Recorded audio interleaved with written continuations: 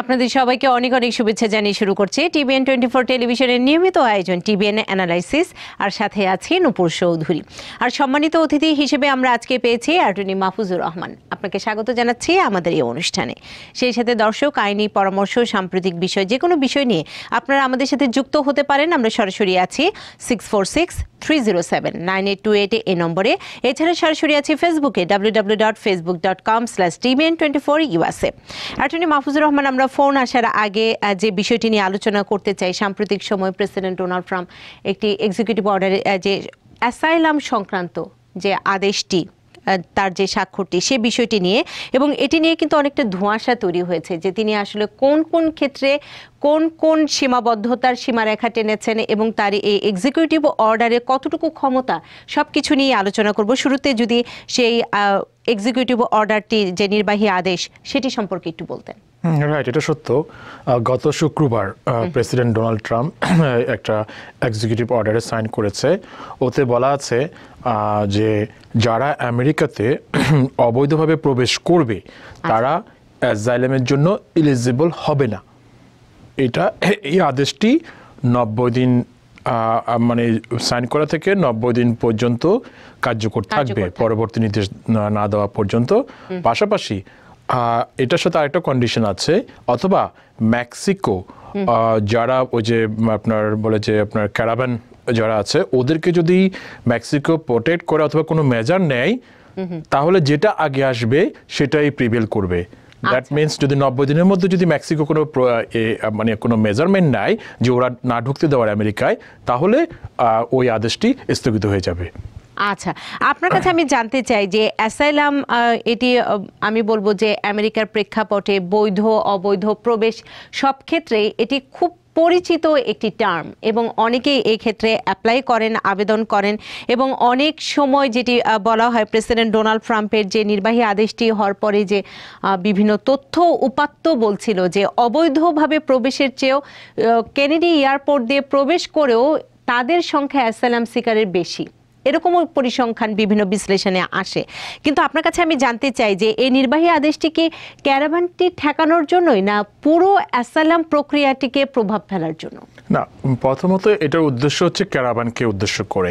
কিন্তু ক্যারাবানকে উদ্দেশ্য করে করলেও এখানে দেখা যাচ্ছে যে আমাদের যে এক্সিস্টিং ল আছে যেটা আপনার ইমিগ্রেশনের ন্যাশনাল আপনার অ্যাক্ট যেটা আছে আইএনএ যেটা আছে ওখানে স্পষ্টভাবে বলা আছে যে কোনো যে যে কোনো ব্যক্তি আমেরিকায় অবস্থান করলে তারা যদি তাদের দেশে ফিয়ার অফ পারসিকিউশন থাকে তারা অ্যাজাইলেম ফাইল করার জন্য ইলিজিবল হবে।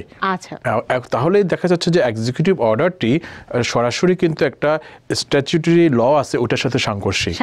এটা কিন্তু চ্যালেঞ্জ হবেই। আমার মনে হয় এই সপ্তাহে এটা করার কথা। আমরা বিভিন্ন যেটা আপনার নন প্রফিট অর্গানাইজেশন তারা কিন্তু এই ডোনাল্ড ট্রাম্পের যে এক্সিকিউটিভ অর্ডারটি ওটা চ্যালেঞ্জ করে যা আদালতে যাওয়ার সম্ভাবনা আছে। আর এইখানে আরেকটা ইয়ে কথা আছে যদিও উনি অ্যাজাইলেম আপনার স্থগিত করেছে কিন্তু অ্যাজাইলেম ছাড়াও কিন্তু যাদের হোম কান্ট্রিতে ফিয়ার অফ পারসিকিউশন আছে তাদের কিন্তু আরও প্রোটেকশন আছে। যেমন উইথহোল্ডিং অফ রিমুভাল আপনার এটা আপনার আপনার ন্যাশনাল ইমিগ্রেশন অ্যাক্টের আন্ডারে পাশাপাশি হচ্ছে এই কনভেনশন এগেন্স্ট টর্চারের আন্ডারে উইথহোল্ডিং রিমুভাল করা যায়।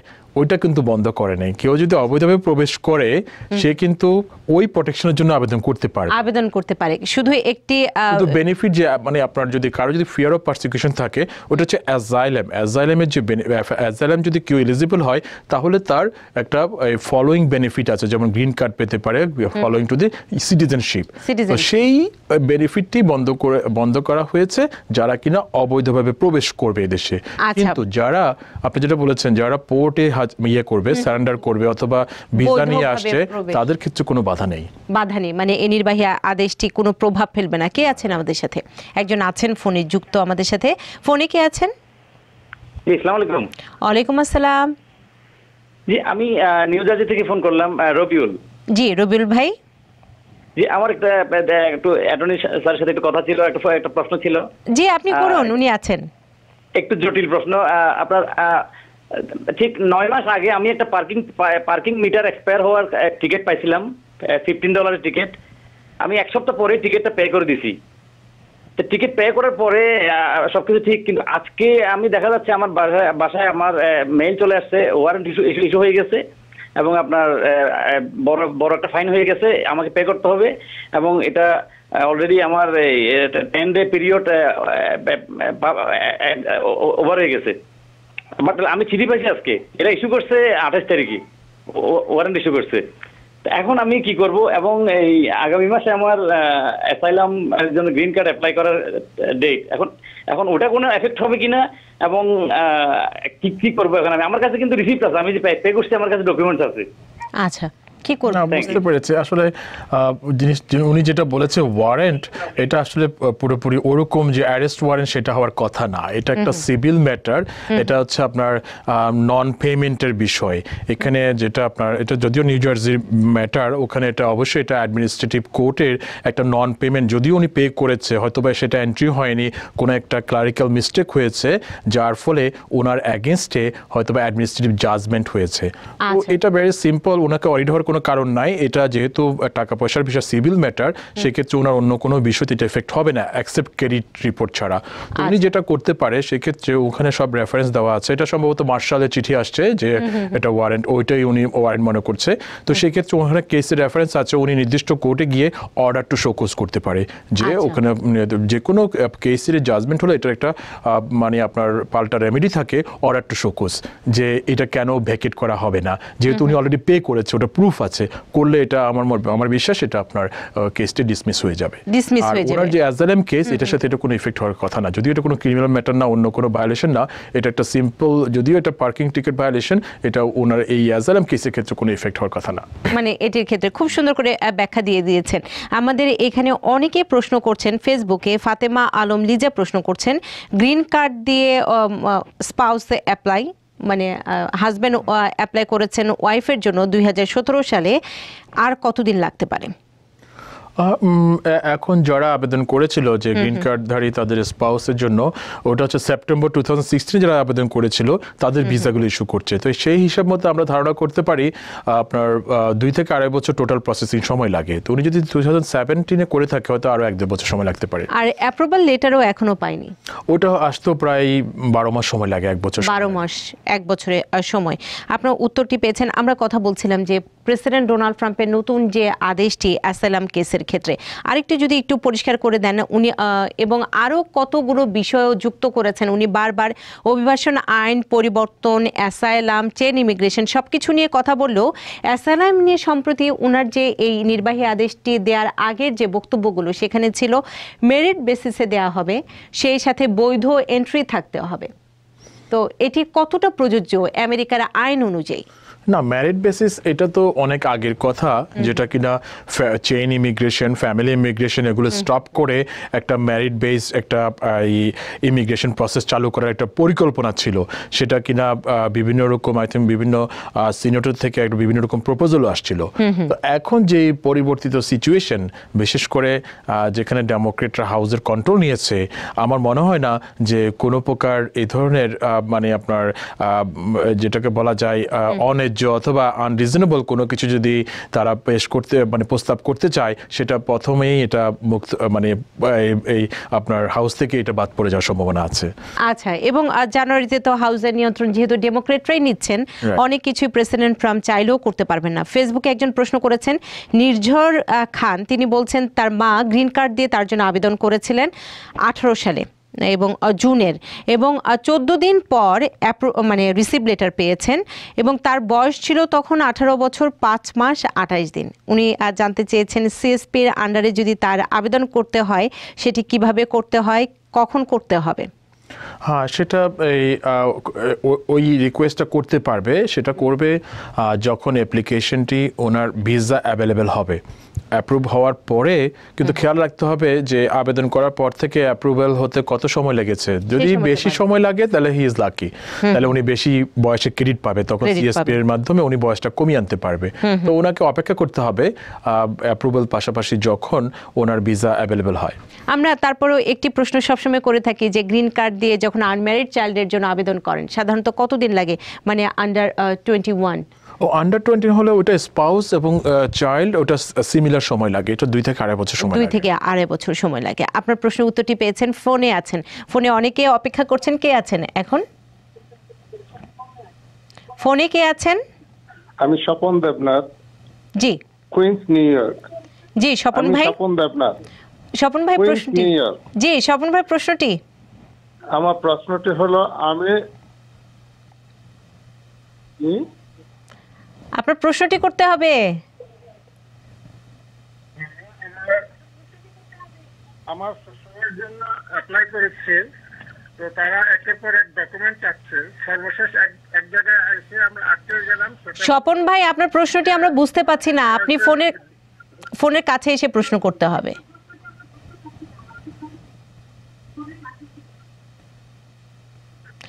প্রিয় দর্শক, আমরা বারবার যে অনুরোধটি করে থাকি, আপনাদের প্রশ্নগুলো আমাদের স্পষ্টভাবে শুনতে হবে। টেলিভিশনে ভলিউমটি কমিয়ে নেবেন। আপনি যখন প্রশ্ন করবেন, তখন টেলিভিশনটি শুনতে যাবেন না। প্রশ্ন ঝটপট করার পরে আমরা যখন উত্তর দিব, তখন টেলিভিশনের ভলিউমটি বাড়িয়ে নেবেন। আর ফোনের স্পিকারটি অবশ্যই বন্ধ করে নেবেন। আর আমরা এটা বলি যে, এই সহায়তাটি করবেন কিন্তু আপনাদের জন্যই, কারণ আপনাদের প্রশ্নটি আমরা যদি ঠিকভাবে শুনতে পারি, ঠিকভাবে উত্তর আসবে। কে আছেন আমাদের সাথে? হ্যালো আসসালামু আলাইকুম কুইন্স থেকে আমি সুলতানা বলছি। জি সুলতানাপা হ্যাঁ আমার অ্যাটর্নি মাহফুজুর রহমানের কাছে একটা প্রশ্ন ছিল। ভিসা বুলেটিন আজকে দেখলাম যে টু থাউজেন্ড ফাইভের জুন থেকে এক মানে অনেক দূর আগাইয়া সাত আট মাস আগাইয়ে গেছে। হঠাৎ তো মাঝখানের যে মাসগুলি ওইটা কি হবে? আচ্ছা। না, মানে বুঝতে অ্যাপ ফোর অ্যাপ ফোর ক্যাটাগরির মানে কথা বলছি আচ্ছা আচ্ছা আচ্ছা। হ্যাঁ না আসলে ওখানে দুটা লিস্ট আছে ভিসা বুলেটিনে একটা আছে যে কারেন্ট যেটা ভিসা ইস্যু করছে সেটা হচ্ছে মার্চ টু আর দেখা যায় আরেকটা চার্ট আছে যেটা কিনা যেই ডেডলাইনটা ধরা হয় ডকুমেন্টেশন রিকোয়েস্ট তো উনি যেটা জুন টু বলছে ব্রাদার সিস্টার এটা হচ্ছে আপনার ডকুমেন্টস রিকোয়েস্টের ডেডলাইন আচ্ছা আচ্ছা। তো সেক্ষেত্রে মাঝখানের এই সময়গুলো ওরা সাধারণত আপনার একটা ওরা হিসাব করে যে কতটুকু ভিসা আপনার ইস্যু করবে এবং কতটুকু কতগুলো ভিসা এই সময়ের মধ্যে তারা ইস্যু করবে এবং অ্যাভেলেবেল আছে সেই হিসাবে একটা ডেডলাইন ফিক্স করে যাতে ওদের অ্যাডমিনিস্ট্রেটিভ এই সুবিধার্থে। যেমন যদি মনে করেন আজকে March two March two thousand ফোরের ভিসা অ্যাভেলেবেল হলো। এখনই যদি সব ওনাদের পিটিশনার বেনিফিশিয়ারকে যদি আপনার ডকুমেন্ট রিকোয়েস্ট করা হয় it takes time three four months সময় লাগে। সেই জন্যই তারা অ্যাডভান্স ডেট দিয়ে থাকে ডেডলাইন যে এই ডেডলাইনের কেসগুলো আমরা ডকুমেন্ট রিকোয়েস্ট করছি প্রসেসিং আচ্ছা। শুরু করে দিয়েছি। কিন্তু প্রকৃতপক্ষে ভিসা ইস্যু করছে যারা আপনার মার্চ টু থাউজেন্ড ফোরে আবেদন করেছিল তাদেরগুলো। আরেকজন আছেন আমাদের সাথে। কে আছেন? ফোনে কে আছেন? হ্যালো আসসালামু আলাইকুম। ওয়ালাইকুম সালাম। আমি আপু ব্রুকলিন থেকে রুবি বলছিলাম। জি রুবি আপা প্রশ্নটি? আমার প্রশ্ন হলো আমার ছেলে সিটিজেন এখানকার হ্যাঁ? তো যদি আমি বাংলাদেশ থেকে বিয়ে করাই বউ আসতে কতদিন লাগবে? আপু আমি জাস্ট এটাই জানতে চাইছিলাম আপু আচ্ছা ভাইয়া। আচ্ছা। অসংখ্য ধন্যবাদ সিটিজেন তার স্পাউসের জন্য আবেদন করলে কতদিন লাগবে হ্যাঁ এটা হচ্ছে ইউএস সিটিজেন তার স্পাউসকে আপনার আমেরিকার বাইরে থেকে স্পন্সর করা বিষয়টা আর কি। তো সেই ক্ষেত্রে আসলে সময় লাগে টোটাল প্রসেস যদি আমরা হিসাব করি দেখা যায় দশ থেকে বারো মাসের সময়ের মধ্যেই কিন্তু আসতে পারে। যদি মানে তড়িৎ গতিতে করতে পারে সবকিছু ঠিকঠাক মতো করে। আচ্ছা এক বছরের মধ্যে আপনি আপনার ছেলের পুত্রবধূকে নিয়ে আসতে পারবেন এখানে। কে আছেন আমাদের সাথে? আসসালামু আলাইকুম। ওয়ালাইকুম আসসালাম। আমি ইয়াসিন হোসেন বাংলাদেশ থেকে বলছি। আচ্ছা ভাই প্রশ্নটি অ্যাটর্নি সাহেবের সাথে একটু কথা বলতে চাচ্ছি অবশ্যই আপনি বলুন ভাই। যে আমার প্রশ্নটি হচ্ছে আমার ওয়াইফ চলতি বছরের পাঁচ মে আমার জন্য অ্যাপ্লাই করেছে। তো গত বিশ তারিখে আমি অ্যাপ্রুভাল লেটারটা আসছে আমার। ও সিটিজেন ওখানকার। এখন আমার আর অ্যাপ্রুভাল নোটিশ আসার পরে ভিসা ফি জমা দেওয়ার জন্য কোনো নোটিশ আসবে কিনা বা এটা কতদিন পরে আসবে? আচ্ছা। এটা সাধারণত যখন কোনো আপনার অ্যাপ্লিকেশন অ্যাপ্রুভ করে ইউএসসিএস থেকে তখন ওই পুরো ফাইলটি কিন্তু ন্যাশনাল ভিসা সেন্টারে পাঠিয়ে দেওয়া হয়। এবং ওনার কি যে অ্যাপ্রুভাল নোটিস আছে ওখানে কিন্তু স্পষ্ট বলা আছে যে তিরিশ থেকে উইদিন থার্টি ডেজ পুরো ফাইলটি ন্যাশনাল ভিসা সেন্টারে পাঠিয়ে দেওয়া হবে। তো সেক্ষেত্রে দেখা যায় আপনার তিরিশ থেকে আপনার পঁয়তাল্লিশ দিন সময় লাগে ন্যাশনাল ভিসা সেন্টারের রেসপন্সের জন্য। তো ওনাকে ওয়েট করতে হবে এটা ওনার ওয়াইফের ইমেল অ্যাড্রেসে অথবা বাসার ঠিকানায় কিন্তু তিরিশ থেকে পঁয়তাল্লিশ দিনের মধ্যে একটা চিঠি আসবে ন্যাশনাল ভিসা সেন্টার থেকে আপনার ফি এবং অন্যান্য ডকুমেন্টেশন জমা দেওয়ার জন্য। আপনার উত্তরটি পেয়েছেন তিনি বাংলাদেশ থেকে ফোন করেছেন। আপনাকে ধন্যবাদও জানাচ্ছি। আহ, কে আছেন আমাদের সাথে এই পর্যায়ে? আমি উড সাইড থেকে মোহাম্মদ বলছিলাম। জি। আহ, মাহফুজ স্যারের কাছে আমি একটা প্রশ্ন রাখব।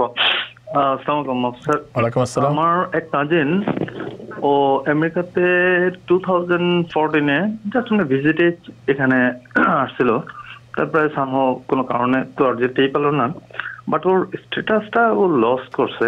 বাট যদি কোনো আমেরিকান পাসপোর্টধারী লিগাল মনে করেন যদি বিয়ে করে, ওকে বিয়ে করার পরে বিয়ে করে, তো এই ব্যাপারে কি কোনো হেল্প হবে? তার মানে পেপার ওয়ার্কটার ব্যাপারে কোনো হেল্প পাওয়া যাবে? হ্যাঁ অনেক চমৎকার প্রশ্ন করেছে। সেটা হচ্ছে যদি এখানে ওভার স্টে মানে আনডকুমেন্টেড এক কথায় কিন্তু ওনার ভ্যালিড এন্ট্রি আছে। কেউ যদি। ইউএস সিটিজেন ম্যারি করে তাহলে সেক্ষেত্রে উনি কিন্তু এখানে কোনো প্রকার বাধা বিপত্তি ছাড়াই অ্যাডজাস্টমেন্ট করতে পারবে। যদিও এখানে একটা প্রশ্ন আসে যে আমি তিন বছর চার বছর ওভার স্টে করলাম এটার কি হবে? আসলে এটা বোর্ড অফ ইমিগ্রেশনে আপনার রুল দ্বারা ওইটা কিন্তু ওই- ওইটা ওয়েব করা আছে যে ওই বারটা অ্যাপ্লাই হবে না যে টেন ইয়ার্স বার যে ওভার স্টে করেছে মোর দেন ওয়ান ইয়ার তাহলে সেক্ষেত্রে সেটা অ্যাপ্লাই হবে না। উনি নির্দ্বিধায় কিন্তু অ্যাডজাস্টমেন্ট করতে পারবে এই দেশে। মানে বৈধ এন্ট্রি থাকে হ্যাঁ, বৈধ এন্ট্রি যদি।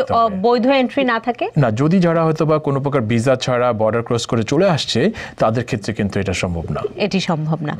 কে আছেন আমাদের সাথে যুক্ত? ফোনে? জি সালাম আলাইকুম ওয়ালাইকুম আসসালাম।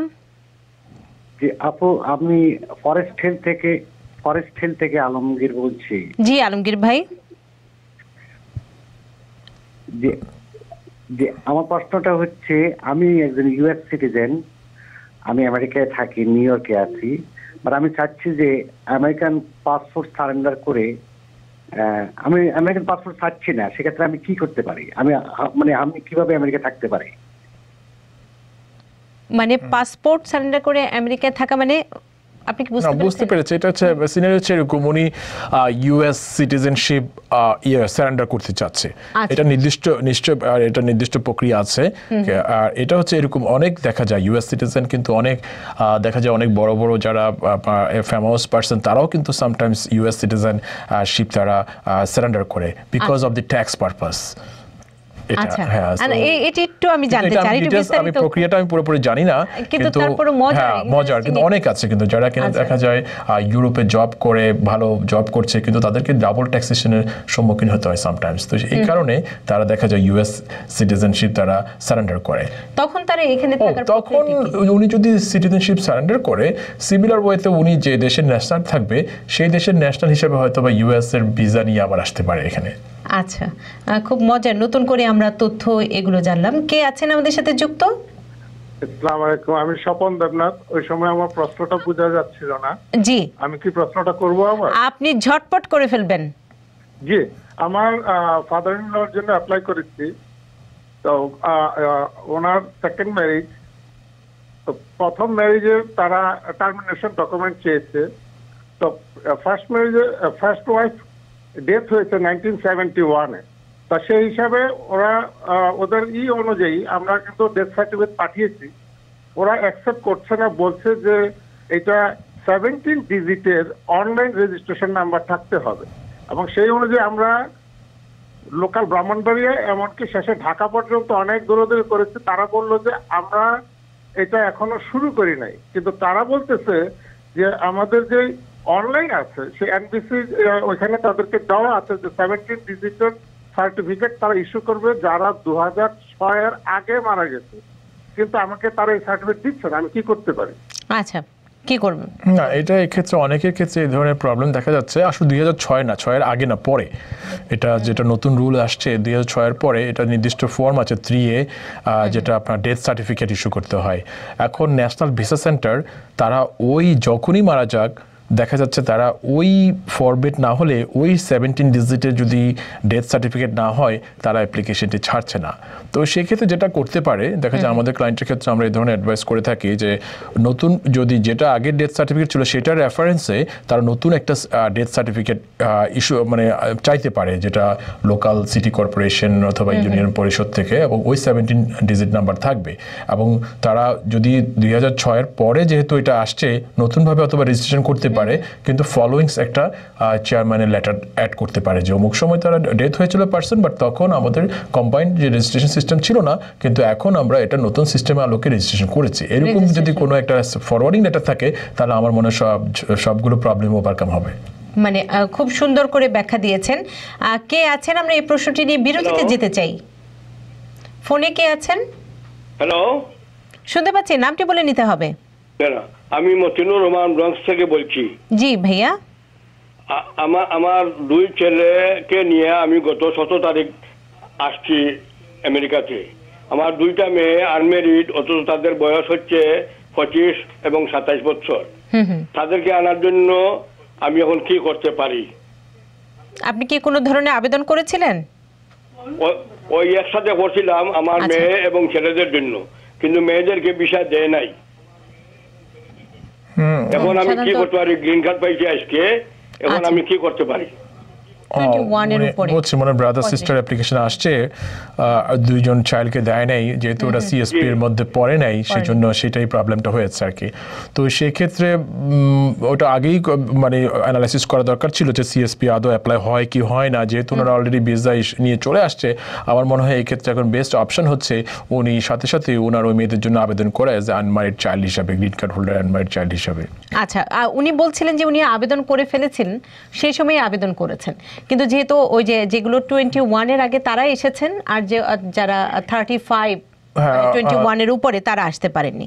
তো সাধারণত এই ডিফারেন্স কত বছরের হয়? এটা যদি সাধারণত যারা ইয়ে হয়ে যায় মনে করেন 21 এর আহ, আগে আপনি বলছিলেন উপরে হ্যাঁ আড়াই বছর আর যদি এটা টোয়েন্টি ওয়ানের উপর হয়ে যায় এটা এফ টু বি ক্যাটাগরি ধরা হয় আর সেক্ষেত্রে ছয় বছরের মতো সময় লাগে। ছয় বছরের মতো সময় লাগে। আর এর মধ্যে তো আর কোনো অন্য অপশন নেই উনি সিটিজেন না হওয়া পর্যন্ত। না আর সেরকম আর কোনো অপশন নেই। তিনি সেটি জানতে চেয়েছিলেন।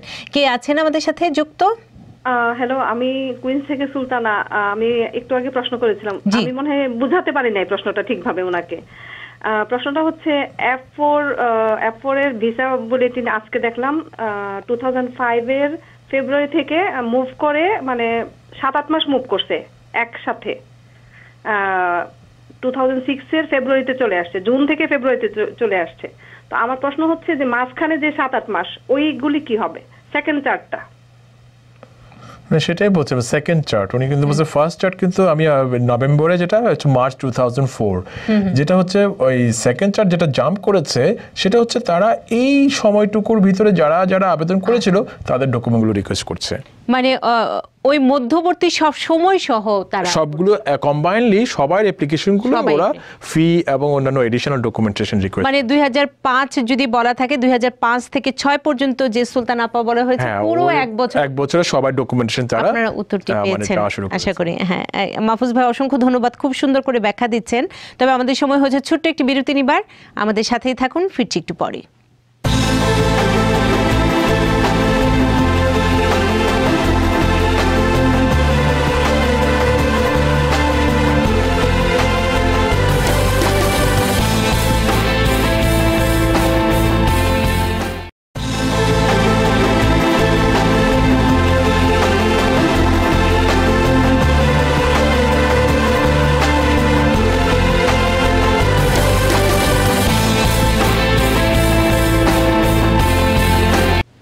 আবারও আপনাদের আমন্ত্রণ জানাচ্ছি টিভিএন অ্যানালাইসিস অনুষ্ঠানে এবং সম্মানিত অতিথি হিসেবে অ্যাটর্নি মাহফুজুর রহমান আছেন আমাদের সাথে। ফোনে অপেক্ষা করছেন আমরা ফোনগুলো একটু নিয়ে নিই। কে আছেন আমাদের সাথে? হ্যালো। জি নামটি বলে নিতে হবে আপা। আমার নাম হচ্ছে ফেরদৌসি আমি নিউ থেকে বলছি। প্রশ্নটি? আমার প্রশ্নটা ছিল আসলে আমার ছোট ভাই সেটা ওকে আমি বাংলাদেশ থেকে ও যখন স্টুডেন্ট ভিসা নিয়ে আসছে যে ইউনিভার্সিটির মাধ্যমে সে আসছিল, ও কম্পিউটার সায়েন্সে মাস্টার্স করে আসছে শিলং ইউনিভার্সিটি থেকে। তো ও যে স্টুডেন্ট ভিসা নিয়ে আসছিল যে ইউনিভার্সিটির মাধ্যমে, তো ইউনিভার্সিটিটা সাডেনলি বন্ধ হয়ে গেছে। যার কারণে ওর ওপিটিটা আর কাজ করছে না। তো এখন সে তার স্ট্যাটাসটা ধরে রাখার জন্য ইএসএল একটা কোর্স করে যাচ্ছে। তো এটা আমাকে মানে এটা থেকে আমি কীভাবে ওকে মানে কীভাবে একটা ভালো রাস্তা দেখাতে পারি? আচ্ছা কোন ধরনের দিক নির্দেশনা? না উনি স্পেসিফিক তো কোনো কিছু ইয়ে করেনি। আমার মনে হয় সাক্ষাতে কোনো অ্যাটর্নির সাথে অ্যাপয়েন্টমেন্ট করে আলাপ করলেই ওনার এটা মানে মঙ্গল হবে। আর এমনি তো অনেক অপশন আছে যে কেউ যারা স্টুডেন্ট থাকুক এবং স্ট্যাটাস চেঞ্জ করার অনেক অপশন সুযোগ আছে। অনেক সুযোগ আছে। মানে আপনারা ব্যক্তিগতভাবে কারও কাছে গিয়ে এই বিষয়গুলো কথা বললেও হয়তো তারা ভালোভাবে দিক নির্দেশনা দিতে পারবেন। আর যেহেতু এই অনুষ্ঠানে আমরা ছোটোখাটো আমরা বিভিন্ন তথ্য দিয়ে থাকি দিক নির্দেশনা দিয়ে থাকি পুরো বিস্তারিতভাবে অনেক কিছুই প্রয়োজন হয় তখন এই অনুষ্ঠানে আর সম্ভব হয় না। যে কারণে আমরা যেটা বলি যে সমাধানের পর দিক নির্দেশনা দেওয়া কঠিন হয়ে যায়। কে আছেন আমাদের সাথে? ফোনে কে আছেন? হ্যাঁ হ্যাঁ। ফোনে কে আছেন? হ্যাঁ, আমি প্রীতম প্রীতম। এটা জোরে বলতে হবে ভাইয়া। আমি প্রীতম প্রীতম। আচ্ছা প্রশ্নটি? প্রশ্নটি হলো ওই যে আমি আমার বোনের জন্য অ্যাপ্লাই করছি টু থাউজেন্ড নাইন আর আমার মা আছেন এখানে গ্রিন কার্ড দাঁড়িয়ে উনি সাত বছর আসছেন এখানে। তো আমি জানতে চাচ্ছি আমার মাকে দিয়ে কি অ্যাপ্লাই করাবো না আমার যে এক্সিস্টিং অ্যাপ্লাই আছে টু থাউজেন্ড নাইনে ওই মানে কোনটা আর্লিয়েস্ট হবে আর কি ওইটা জানতে চাচ্ছি। আপনার বোনের বয়স কত? Twenty five twenty five unmarried তাই তো? হ্যাঁ। কি বলবেন? হ্যাঁ যদি আনমেরিড হয় এবং ওনার মা সম্ভবত গ্রিন কার্ড হোল্ডার সেই ক্ষেত্রে কিন্তু মা করলে কিন্তু এটা আরও মানে ফাস্টার হতো। তো উনি যেহেতু বলছে যে সাত বছর আগে ওনার মা এসেছে। উনি কিন্তু দেখা যাচ্ছে সাত বছর আগেই কিন্তু আবেদন করেছে ওনার সিস্টারের জন্য। তো উনি যদি টু সাত বছর আগে যদি এবং 18 ইলেভেনে যদি আবেদন করতো ওনার বোনের জন্য আমার মনে হয় ওনার মায়ের অ্যাপ্লিকেশন ধরে ওনার বোন এতদিন আমেরিকা থাকতো। আমেরিকাতে চলে আসতো। এখন কি সমাধান এখন মানে পঁচিশ বছর যদি ওনার সিস্টার জন্য এখনও ওনার মা আবেদন করতে পারে কিন্তু সেক্ষেত্রে ছয় সাত বছর আনমেরিড থাকতে হবে ওনার সিস্টারে যদি আমেরিকা আসতে চায় এখানে। আচ্ছা। আরেকজন আছেন। কে আছেন আমাদের সাথে যুক্ত? জি আসসালামু আলাইকুম। আমি হক বলতেছি ব্রঞ্জ থেকে। জি হক ভাই। প্রশ্নটা হচ্ছে আমার বোন তার হাজবেন্ডের জন্য অ্যাপ্লাই করেছিল টু থাউজেন্ড সেভেন্টিনের জানুয়ারিতে। এখন সাপোর্ট সবগুলা ওরা চেয়েছে সবগুলা দেওয়া হয়েছে এই এই মাসে। প্রশ্নটা হচ্ছে এই সাপোর্টটার কতদিন কার্যকর হবে? যেহেতু টু থাউজেন্ড সেভেন্টিনের ইনকাম দেখাইয়া সাপোর্ট দেওয়া হয়েছে এখন তো টু থাউজেন্ড এইটিন প্রায় শেষ নভেম্বর চলতেছে।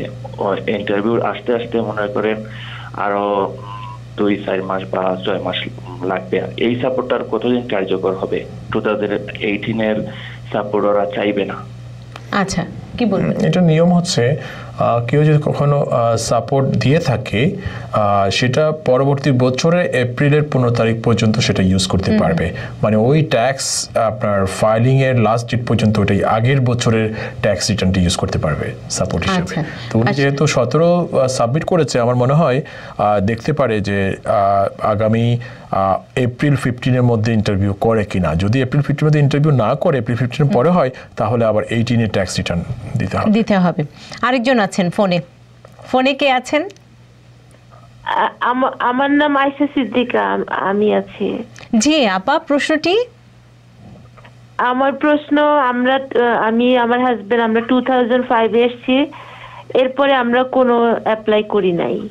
কোনো কিছুতে। আমাদের কি কোনো সুযোগ আছে? আচ্ছা। না সিমিলার কিছুক্ষণ আগে কিন্তু সেম টাইপের প্রশ্ন করেছিল। আমার মনে হয় ওনার এই ধরনের সিচুয়েশনে কোনো একজন ব্যক্তিগত অ্যাটর্নির সাথে সাক্ষাতে আলাপ করাটাই বেস্ট হবে। অনেক ধরনের সুযোগ সুবিধা আছে অনেক ধরনের অপশন আছে তবে আপনাদের পরিস্থিতি সামগ্রিক বিষয় নিয়ে আপনারা যদি কথা বলেন তখন হয়তো একজনে অ্যাটর্নি আপনাদের দিক নির্দেশনা দিতে পারবে আসলে সম্পূর্ণ ডিপেন্ড করে ওই পার্সনের কি সিচুয়েশন আর এটা খুবই সেন্সিটিভ ইভেন আমাকে যেই যে প্রশ্নটা করেছে এখানে আমাকে লটস অফ প্রশ্ন করতে হবে ওনার পার্সোনাল সিচুয়েশন দেখতে হবে। না সেগুলো আমরা চাই না যে। ওপেনলি অন ইয়ারে যে এটা আপনার পার্সোনাল ভাবে কোনো অ্যাটর্নির সাথে দেখা করা অ্যাটর্নি এবং আরেকটি বিষয় আমরা বলে থাকি এই অনুষ্ঠান থেকে যে আপনারা অবশ্যই আপনাদের পছন্দ মতো কারও কাছে যাবেন তবে দেখে নেবেন তিনি অ্যাটর্নি কিনা প্রফেশনাল কিনা। কারণ সেই জায়গাটিও খুব ইম্পর্টেন্ট যার হাতে আপনার ভাগ্যটি তুলে দিচ্ছেন। সে প্রফেশনাল কিনা সেই বিষয়গুলো কিন্তু জড়িয়ে আছে সব কিছুর ক্ষেত্রে। কে আছেন আমাদের সাথে? ফোনে কে আছেন? জি সালাম আলাইকুম আপা আমি ফরেস্ট হিল থেকে আলমগীর বলছি। এর আগে ফোন করেছিলাম। আচ্ছা। আমি কি মাহবুব সাহেবকে জিনিসটা বুঝাতে পারিনি। আমি কোনো ট্যাক্স সংক্রান্ত ব্যাপারে ইউএস সিটিজেনশিপ সারেন্ডার করতে চাচ্ছি না। বাট আমি যদি আমেরিকাতে ইউএস সিটিজেনশিপ পাসপোর্ট সারেন্ডার করে থাকতে পারব কিনা? আমার লিগেল কোনো স্ট্যাটাস থাকবে কিনা? আচ্ছা, বা আচ্ছা। সারেন্ডার করতে হলে আমি কোথায় করতে হবে সেই প্রক্রিয়াটা জানার জন্য ঠিক আচ্ছা যদি সারেন্ডার করে সারেন্ডার করে তো থাকার কোনো প্রশ্নই আসে না। কিন্তু আমি কিছু কথা বলেছি যে ওই প্রসিডিউরটা আমার জানা নেই কিন্তু করা যায় এতটুকু বলতে পারি। আচ্ছা বিস্তারিত সেই জায়গাটি জানা নেই তবে আপনি যদি সারেন্ডার করে দেন তখন তো আর বৈধভাবে না থাকার কোনো প্রশ্ন আসে উনি কিন্তু বলেছিলেন যে আপনি তখন যে দেশের ই- নিবেন জাতীয়তা আহ, মানে আপনি তখন সেটিতে পারমিশন নিয়ে আবার আমেরিকায় আমেরিকায় আসতে লাইক পারবে। B one B two visa নিয়ে তখন আসতে হবে। সেটা কিন্তু আপনি বলেছিলেন সেটি সেই জায়গাটিতে। আরেকজন আছেন। কে আছেন আমাদের সাথে যুক্ত? ফোনে কে আছেন? হ্যালো আসসালামু আলাইকুম। ওয়ালাইকুম আমার নাম আসসালাম। মিনা। আমার নাম মিনা। আমার আমি একটা কোশ্চেন করতে চাচ্ছি। মিনাপা বলুন। আমার এক হ্যাঁ আমার এক কাজিন সে জি। মিনাপা টেলিভিশনটি পরে শুনবেন প্রশ্নটি করুন। জি জি জি। সে টু থাউজেন্ড ওয়ানে কেস করেছিল কিন্তু সে কেস উনি উইন হয় নাই। এই পর্যন্ত আর এটা রিওপেনও করে নাই। কিন্তু এখন যে ট্রাম্প যে রোলটা করেছে এখন কি সে এটা ওপেন করতে পারবে? রিওপেন করতে পারবে? সেই কেসটা বিস্তারিত উনি কি ধরনের কেস মানে ছিল কি ধরনের কেস ছিল? পলিটিক্যাল পলিটিক্যাল অ্যাসাইলাম ছিল। আচ্ছা। পলিটিক্যাল অ্যাসাইলাম ছিল। এটাও খুব স্পর্শকাতর বিষয় তারপরে যদি তারপর না প্রসিডিংসটা হচ্ছে যদি কোনো কেস যদি কোনো আপনার গ্রান্ট না হয় দ্যাট মিনস হচ্ছে ওনার ডিপোর্টেশন অর্ডার অলরেডি আছে ওনার ক্ষেত্রে টু থাউজেন্ড ওয়ানের পর থেকে। আচ্ছা। তো এখন যদি সেরকম কোনো আপনার পরিবর্তিত সিচুয়েশন থাকে সেক্ষেত্রে মোশন টু রিওপেন করার একটা সুযোগ থাকে। এটা সম্পূর্ণ ডিপেন্ড করে ওনার পার্সোনাল সিচুয়েশনের উপরে এবং ওনার সিচুয়েশনের উপরে। এখানে আপনার বাট উনি যেটা প্রশ্ন করেছে প্রেসিডেন্ট ডোনাল্ড ট্রাম্পের সাথে সেরকম কোনো সম্পর্ক নেই এখানে।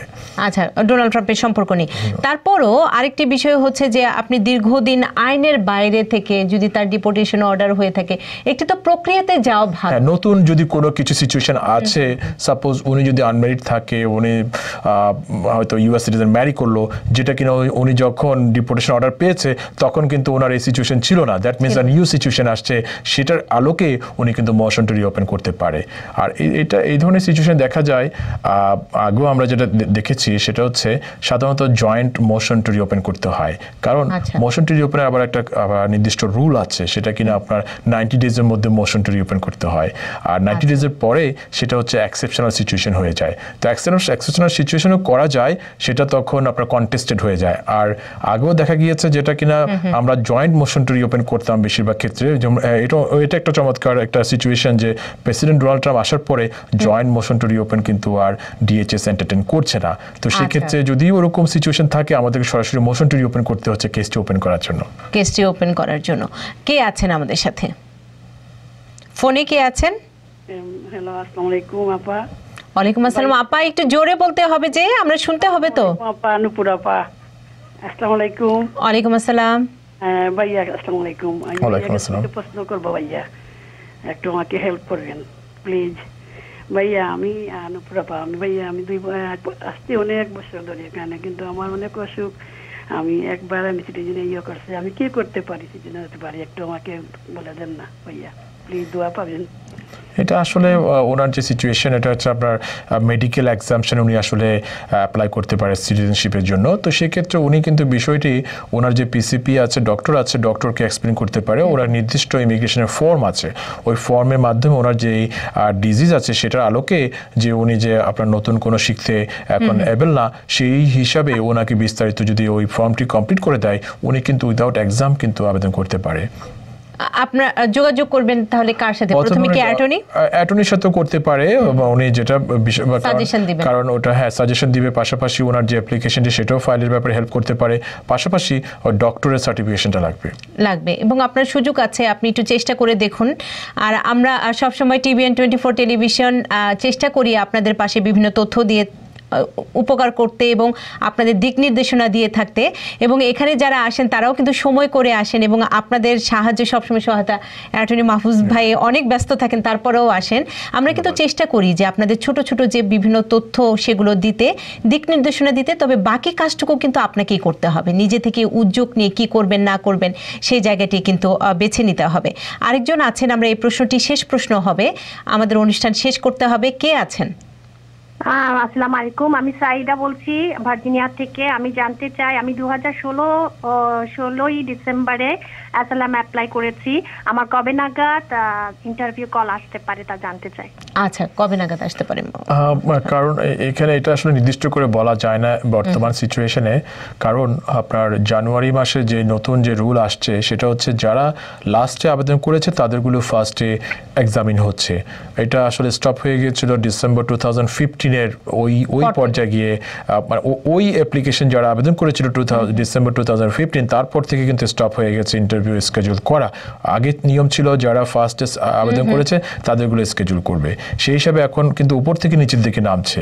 তো সেই ক্ষেত্রে নির্দিষ্ট করে বলা যাচ্ছে না ইউএসসিএস কিন্তু সেরকম কোনো আপনার টাইম ফ্রেমও দিচ্ছে না এই মুহূর্তে।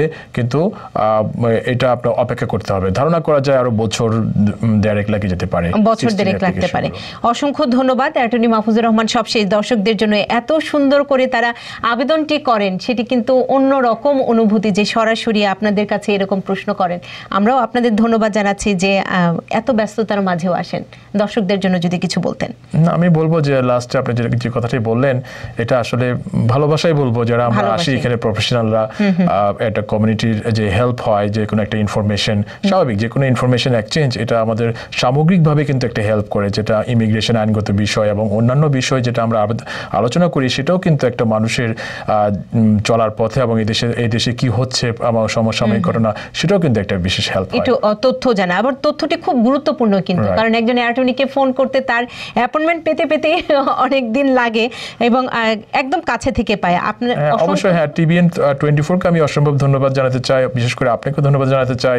কারণ অসম্ভব সুন্দরভাবে অনুষ্ঠান প্রেজেন্ট করেন যাতে দর্শকরা খুবই নিজে আপন মনে করে কিন্তু প্রশ্নটা করে। প্রশ্ন করে আপন মনে করে। আপনাদেরও অসংখ্য ধন্যবাদ। বিশেষ করে আপনাকে অসংখ্য ধন্যবাদ। জানাচ্ছি। সেই সাথে দর্শক আপনাদের ভালোবাসা নিয়ে এগিয়ে যাচ্ছে টিভিএন টোয়েন্টি ফোর টেলিভিশন। আমরা সবসময় চেষ্টা করি বিভিন্ন তথ্য আপনাদের মাঝে সরবরাহ করতে এবং সবাই কিন্তু সহায়তার হাতটি বাড়িয়ে দিচ্ছেন। সে কারণে সবার প্রতিই আমরা কৃতজ্ঞ। সবাই ভালো থাকবেন।